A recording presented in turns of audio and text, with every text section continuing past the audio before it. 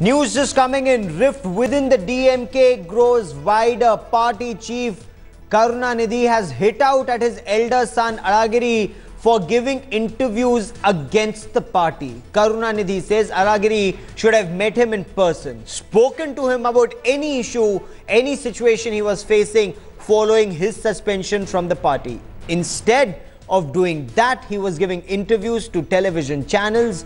He also reminded Alagiri that he is now suspended. The party is yet to take a call on sacking him, and that could well be the next option. Headlines today is Priyamvada now joins me for more on this story. Priyamvada, after Karunanidhi made it very clear the heir apparent was Stalin, the feud between the brothers was out in the open, but initially it was felt this was temporary. It seems to be escalating. Well, Gaurav, I would say the uh, the rivalry between Stalin and Alagiri, the entire problem issue in the DMK, is actually reaching its climax because so far we haven't seen Karunanidhi hitting out at Alagiri so badly. So this is a huge statement Karunanidhi has said. Uh, apparently, Alagiri stormed into his house on 24th of uh, this month and told that Stalin will die in three months and why should he be given the party post and instead Alagiri should take over the party. So he made it that blatant. Karunanidhi, an emotional father, said that which father would be able to uh, and accept uh, something being said about a son.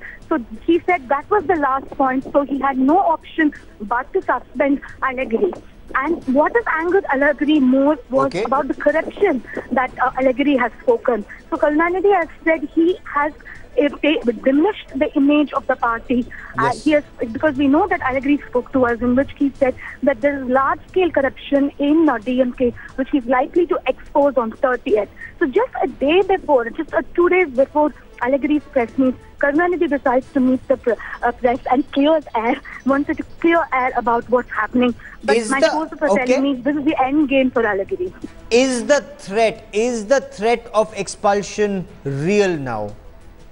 It looks very much real, Gaurav. My sources are telling me that things have gone uh, beyond any kind of negotiation. Usually it's uh, Dayalu Ammaka, uh, Alagiri's mother, Alagiri and Stalin's mother, who sits down for negotiation. But at this point of time, she's very sick and not in a position for negotiation.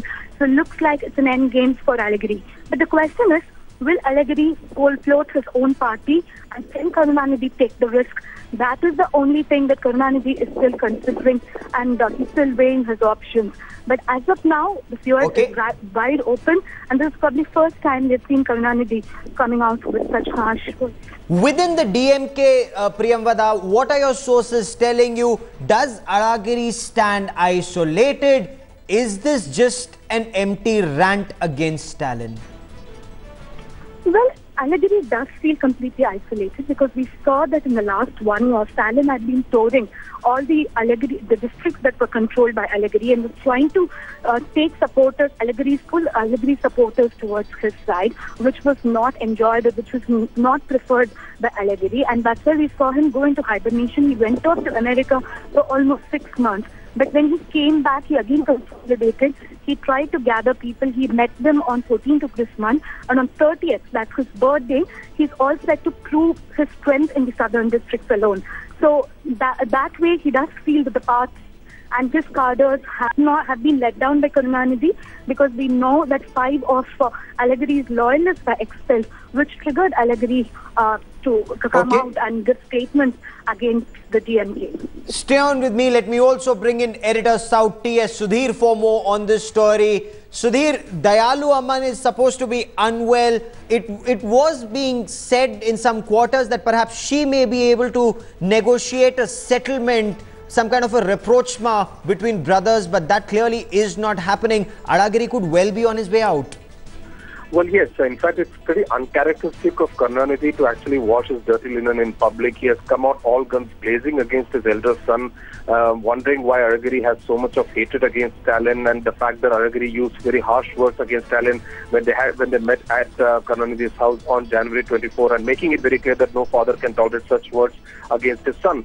So Karunanidhi obviously backing Stalin to the hill, saying that Alagiri really did not show that kind of behavior that an elder son should. So in that sense, this whole fracas within Karunanidhi's first family in Gopalapuram really spreading out right in the open. And that's something which Jayalalitha and the AIADMK would feel very happy about. It's very important for Karunanidhi to somehow contain this. All along we were told that at his birthday celebrations on January 30 in Madurai, Alagiri would make some very startling disclosures talking about corruption within the DMK. So Karunanidhi has fired the first salvo, and we'll have to see what Alagiri, uh, how Alagiri re- responds or whether he responds in kind. But yes, Okay. this entire harsh words being used by the first family, members of the first family, definitely is not good news for the DMK. And extremely harsh and unkind words for his brother Stalin from Alagiri. What context was this in, uh, uh, Sudhir, when he said uh, Stalin would die in four months? Well, uh, very, very strange. In fact, this is what the rumor mills have been going around for many months now about the extreme uh, um, dislike for each other that Stalin and Alagiri have um, maintained for many months, in fact, years. That this, this competition between the two brothers is what uh, has forced Karunanidhi to continue in the top job because Alagiri had made it very clear that he will not accept anyone uh, but his father as the chief of the DMK.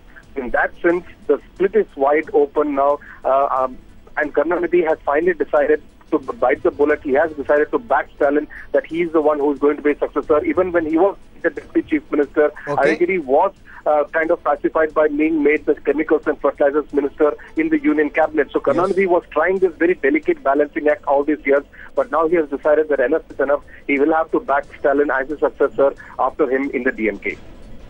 For the moment, Priyamvada and T.S. Sudhir, many thanks for joining me. Keep tracking that story. I will come back to you for more. This open feud in DMK's first family.